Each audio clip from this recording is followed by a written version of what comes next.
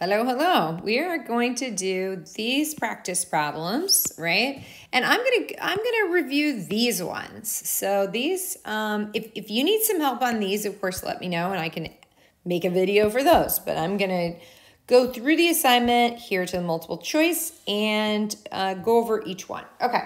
So 71, it says, which one of the following is not a characteristic of the least squared regression line? Okay. So we've learned a lot about the least squared regression line, and we know that um, we learned in our activity that the least squared regression line happens to go through uh, the point x bar, y bar. It happens to go through there. So that's something we learned from our activity that we didn't already know before. Pretty cool. So we know that's true. The least regression line minimizes the sum of the squared residuals. That's why it's called the least squared regression line. So we know that's true. The slope of the least squared regression line will always have the same sign as the correlation. So let's say this is about correlation of, I don't know, maybe uh, point, 0.79 then we know that the slope, whatever it is, is positive and vice versa. Okay? So that would mean if the correlation is positive, then the slope is positive, or if the correlation is negative, then the slope is negative. So this is a true statement. They have the same sign. Last, the least squared regression line is not resistant. That we know is true. So if we had a least squared regression line, and we did in our activity, and we added this green dot here, we know that the line then would be pulled down to try to meet up with this green one. So we know that this is a true statement. So this one has to be false. The slope, see, I think this would be, if we corrected it, um, the correlation, the correlation of the least squared regression line is always between negative 1 and negative negative 1 and positive 1. All right, now let's take a look at 72. It says each year students in an elementary school take a standardized math test. For a class of fourth graders, the average score was 55.1 with a standard deviation of 12.3. In the third grade class, these same students have an average score of 61.7 with a standard deviation of 14.0. The correlation between these two sets is 0.95. Please calculate the equation of the least squared regression line predicting fourth grade using third grade. Okay, so because they say that, we know which one is X and which one is Y. In this chapter, we've learned, can I use X to predict Y? So we're thinking, can I use the third grade scores to predict the fourth grade scores? So now let's denote which one goes with what. So if this is my fourth grade score, that's Y. So if this is the average Y value, I write it down like this. And then this is my standard deviation of fourth grade scores. So that would be the standard deviation of Y. Next, it states um, that my third grade scores are that. So that would be this right? And the standard deviation is 14. So that's the standard deviation of my x values. Beautiful. Now I also know that r is 0.95. So can I come up with a formula of some sort or can this not be calculated from the data? Well, if I go to my notes that I made the other day, it's like, oh yeah, we took some notes right here, didn't we? So I went ahead and took a snapshot of these notes and put them right here. Okay, so we're gonna be able to work through this question with this information. Y bar is 55.1. S sub y is 12.3.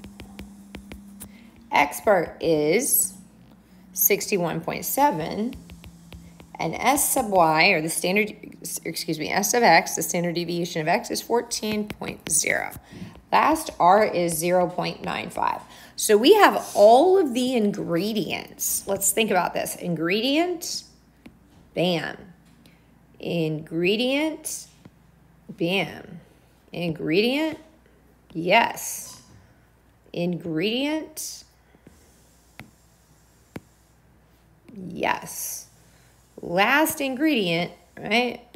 I have all my ingredients to be able to use these formulas to create a least squared regression line, also known as a line of best fit. So let's do it. B1 is R, so that's 0 0.95, times S sub Y over S sub X. Do a little number crunching.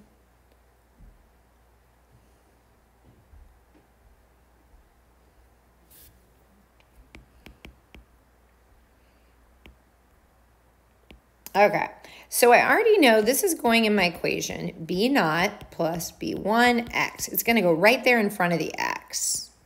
So I might be able to eliminate, but I'd like to go ahead and finish this problem out, but I can kind of eliminate already, see how these are now going to be the right answers, and I can eliminate these. And I, I know I can solve for that. Okay, so we've narrowed it down to A and B. Now let's keep going. I have B1,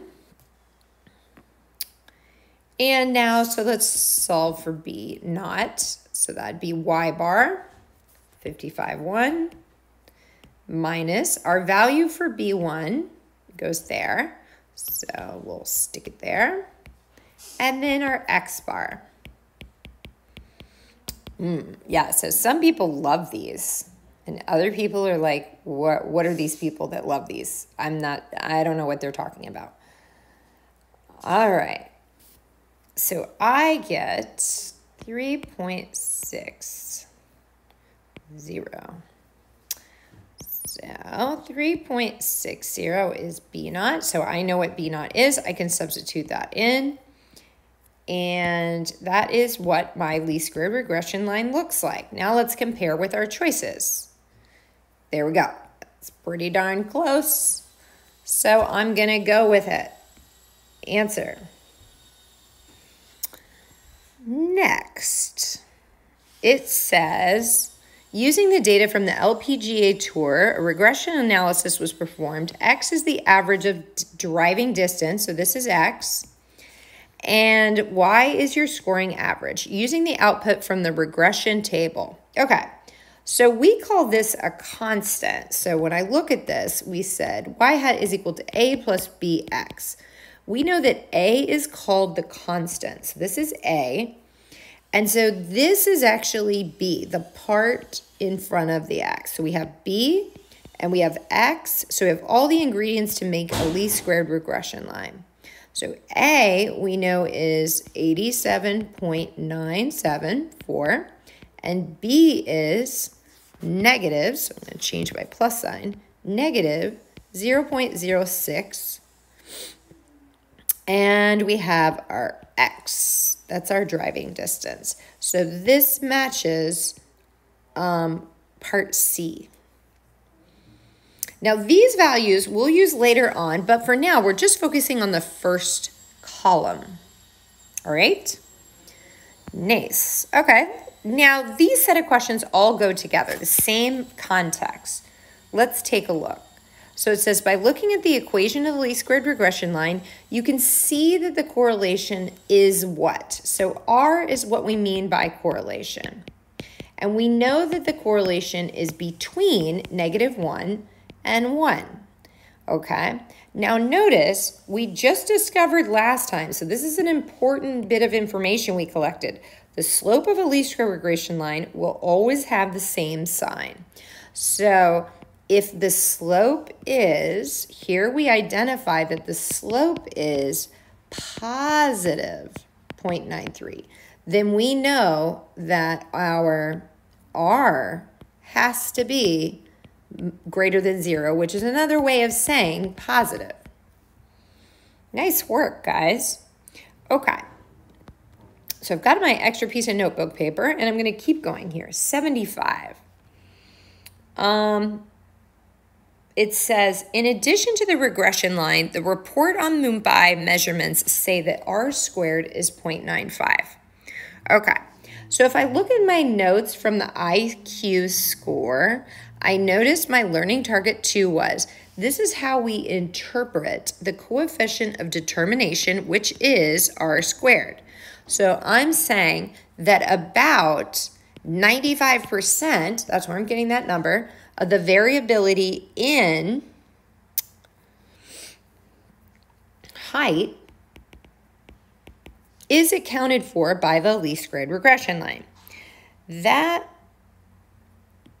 is what D says. So I call these scripts. The D matches what we are looking for. That is how I interpret the coefficient of determination, also known as R squared. Check out the next video for the rest of the questions in this section.